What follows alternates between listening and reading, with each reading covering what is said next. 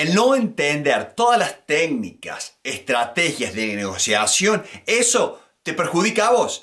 Eso hace que vos no puedas obtener lo que realmente te mereces. Entonces, cuidado. Tenés que estar estudiando, tenés que estar analizando porque la negociación es una habilidad que si vos no estás en competencia, si vos no, no, no te preparas, va a haber alguien que negocie mejor, va a haber alguien. Y si esa persona no quiere hacer el ganar, ganar con vos, vos vas a hacer el menú del almuerzo de él. Entonces, cuidado con esto, cuidado. Hoy quiero mostrarte este libro. Este libro creo que vale la pena. Chris Voss fue negociador del FBI. Este libro es brillante. Este libro ayuda y trae una, una, recopilación de un montón de cosas que realmente nos hace valorar por qué, porque él estuvo en la práctica. Y eso es lo que yo valoro tanto de este libro. Quiero darte tres puntos claves de este libro para que los veas y te voy a, te voy a hacer referencia a otras universidades, otras cosas, como para que tengas y veas, realmente tenés que valorar este libro. Lo mismo con Nunca temas negociar. El Nunca temas negociar está en Amazon lo podés conseguir en Amazon, te va a servir. Y yo te digo una cosa, en cada, cada vez que yo hablo y veo un libro bueno como esto, lo vas a ver acá. Lo vas, hago las marcas, te muestro dónde tenés que ir, cuál sería la parte que tenés que, tenés que indagar más, ¿no? La verdad es que a la gente que le gusta este tema sabe que tiene que hacerse mejor. Y uno ve que uno se hace, que uno empieza a aprender, este, esto es, este, se hace una bola de nieve, uno empieza a aprender más, más, más, y es muy, muy útil, ¿no? Entonces, uno de los primeros puntos que quiero mostrarte de este libro es, él habla del no, él habla del no y él dice, el no es algo que tenemos que dejar que nuestro contraparte lo diga. ¿Y qué es lo que nos pasa siempre? Cuando alguien nos dice que no, ¿cómo nos sentimos? Nos sentimos mal, nos sentimos, oh, ese no me gusta, ¿qué pasa? Pero no, él habla de que el no es algo bueno, el algo es algo que yo tengo que buscar ese no. Cuando la persona me diga que no, no quiere decir que no quiere, quiere decir que es como que toma en control. Lo que está diciendo es, eh, para ver, eh, nos ordenemos, tenemos que tener control acá, eso es lo que tenemos que buscar. Busquemos la habilidad de mantener el control. Entonces, ¿qué es lo que inteligentemente tenés que hacer? Tenés que darle el control a tu contraparte. Tenés que dejar que tu contraparte diga y hable ese no, que diga, no, no, a ver Pablo, para, no, no, no, déjamelo pensar, ¿no? Entonces, ese no si bien a mí me, afecta, no nos, tiene, no nos tiene que afectar. Tenemos que estar, ok, ok, vamos, sigámoslo pensando, sigámoslo estudiando. Acordate de eso, el no no es algo malo y lo que yo tengo que buscar no es el sí, el habla, no es el sí. Lo que yo tengo que buscar, eso es lo correcto, eso es lo que él busca. ¿Por qué? Porque muchas veces decimos, sí, sí, sí, sí, Pablo, mándame el documento. Sí, sí, Esteban, mándame, mándame las cosas. Ese sí no dice nada. Lo que dice es cuando digo, eso es lo correcto, eso es lo que yo quiero, Pablo, mándame el documento, eso es lo que quiero, eso es lo correcto. Entonces, hay una gran diferencia entre el no, ¿no es cierto? Que ese no me lleva a que yo pueda interpretar, pueda estudiar. Bien, ese es el punto número uno. El punto número dos es el tema de que todo negociador está explorando, está descubriendo. Él habla de que, ¿no es cierto? Hasta, hasta le hace hincapié a que no, él no se prepara mucho, cosa que yo no estoy tan de acuerdo en la parte de negocios, en la parte de familia. Eh, y la preparación, eh, invertir tiempo en preparación te ayuda. Pero él dice, ah, bueno, pero muchas veces no nos preparamos y ese es el punto de él. Y me parece muy válido y muy bueno.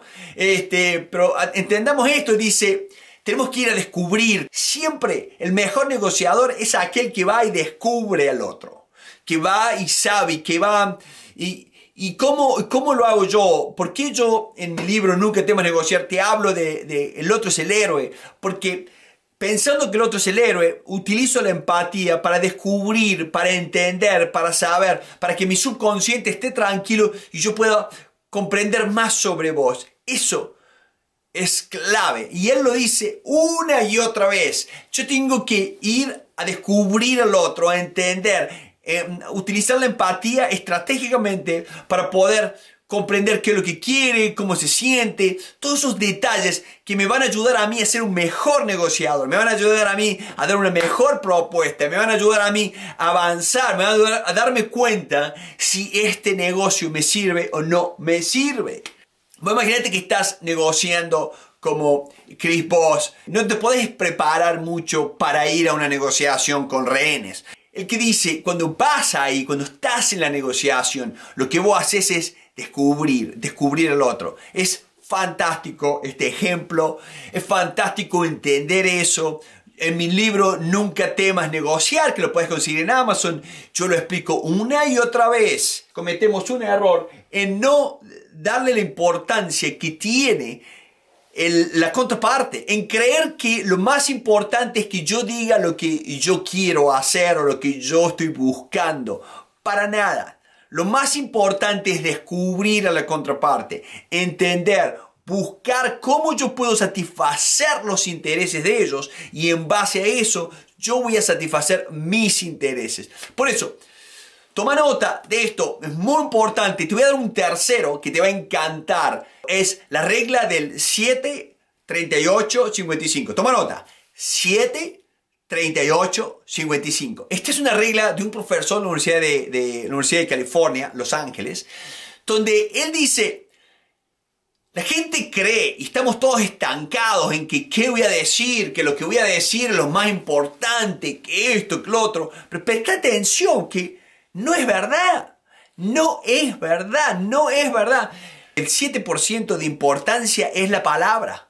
La palabra juega un 7% de importancia. ¿Y sabes quién juega más el 38%? La tonalidad. ¿Cómo lo decís? ¿No? ¿Y sabes quién juega aún más el 55% importancia en la negociación, en esta discusión que tenemos? Que todos estos estudios lo has hecho, la Universidad de California lo han visto es la posición corporal, este, como la actitud que tengo corporal hacia vos. Entonces, yo, me puedo, yo puedo descubrir que una persona quiere hacer negocio conmigo, así esté equivocándose las palabras, así esté equivocándose el tono de voz, yo me doy cuenta por el cuerpo. Yo me doy cuenta cómo descubrimos cuando una persona miente. No lo descubrimos por las palabras, descubrimos porque las repite, descubrimos porque explica demasiado, descubrimos por la posición corporal, por la composición corporal, está tratando de, irse, está tratando de escaparse. Hay un montón de pequeñas situaciones que hacen que tenemos que entender esta parte. Y te felicito porque estás viendo y acá tenemos más de mil videos. Por favor, baja esta hoja, hay una hoja de preparación, está acá. Hay una hoja de preparación, bájala. Esto te va a ayudar muchísimo en todas tus negociaciones. Fundamentalmente lo que estábamos buscando es poner tres puntos claves de este libro. Tres puntos claves que te van a ayudar a ser un mejor negociador.